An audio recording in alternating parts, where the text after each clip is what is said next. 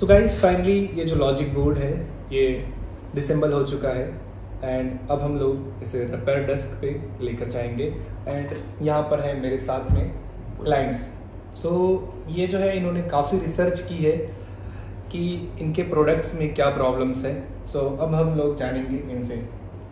सो so, मैं जानना चाहता हूँ कि ये जो प्रोडक्ट्स है आपका ये कैसे बंद हुआ था?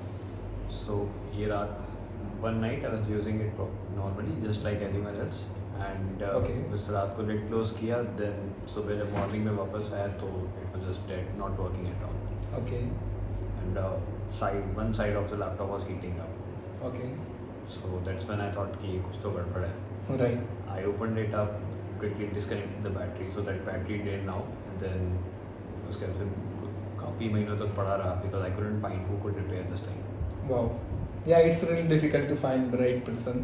Basically, I do understand. Uh, uh, it's called a specialty. Basically, you can find multiple stores for iPhones, but when it comes to MacBooks, you won't be able to find a right place. Right? How many places have you called? approximately 15 20 places Wow. And एक और ये भी है कि ये MacBook बंद हुआ था मार्च में Right. एंड अभी दिसंबर है no. 10 months almost. Yeah. So it was just lying down. Yeah, just wait for the paperweight, right? An yeah. expensive paperweight. expensive paperweight, right? When it comes to logic board, it's quite expensive, right? Uh, yeah. Basically, if you go to Apple's, then it will cost you more than 80,000, I think. They'll give you an absurd price because yeah. of then apna laptop hai So instead of uh, right instead of uh, changing the logic board that doesn't make sense basically that's why you have been waited so long, right? Yeah. And you have called multiple places, but you haven't got good confidence, right? Who can Fix it. give you the assurity that this device can be fixed and after fixing this device will work flawlessly Hmm, yeah. so finally you are here at EazyFixit so let's go to the inside the lab and see how we are doing it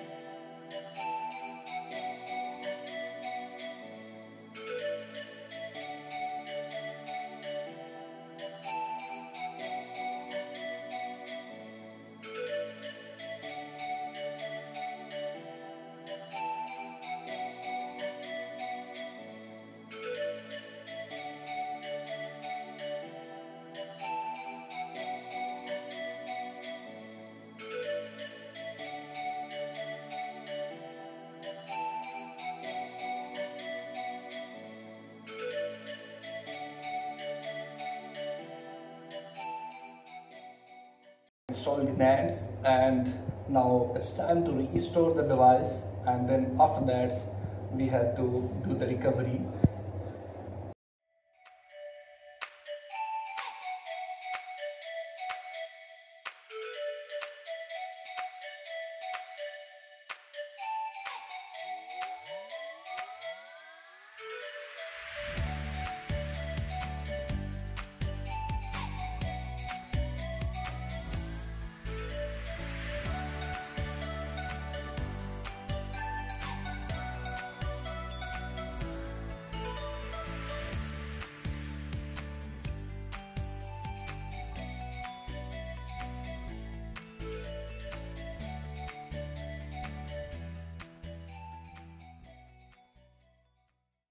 So finally device has been restored successfully and here is the customer sitting with me and is enjoying the repair.